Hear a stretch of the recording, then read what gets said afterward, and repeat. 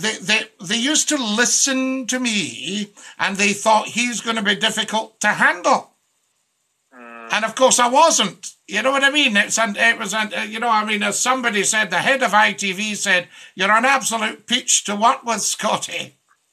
Mm-hmm, mm-hmm. You know, and, and that stuff because we were getting on with the job and bringing the audience to the station. Aye, aye. I mean, so always, I mean, just in the new year, I mean, I, was, always, I was watching your Hogmanay Bash on the, on the internet, you know, and it was like that.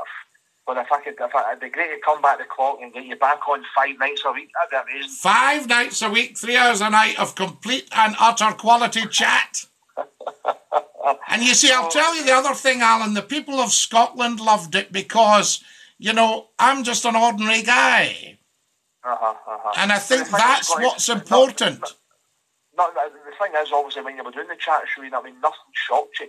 No. So I think some of some of the responses you gave to people, they weren't expecting it, but you were straight to the point. Straight you know, right, and we just it. told them straight, do not give me any of that nonsense. I mean, these days, I mean, you're trying to do this. I mean, I seen an article in the paper that they're dropping the midget for midget gems in case it offends people. Well, you see, see this offending. I mixed this up last week. This saying I've got to apologise for that. But what I've always said is you cannot give offence. It has to be taken. So people take offence. Now, what I would do is put a proper Scottie McClue show on and say, if you are going to be offended, do not watch or listen. Just go away.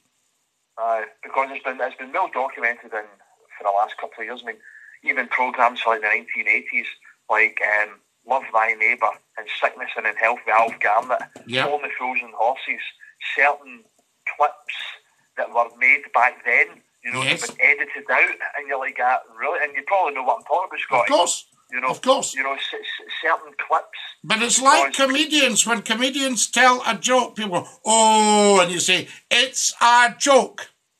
Aye, aye. You know, but they say, oh, these telephones.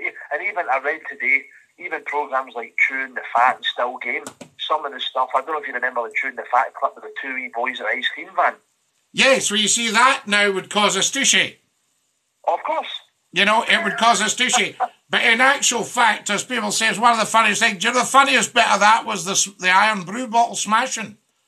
Aye, aye, and the wee boy still standing in the night in the, in the pokey hat. They were just left with the pokey hat. and I think, yes, and I think that's it. And I think that we need to grow up as people. You see, who is offended? I can remember they said, by the way, the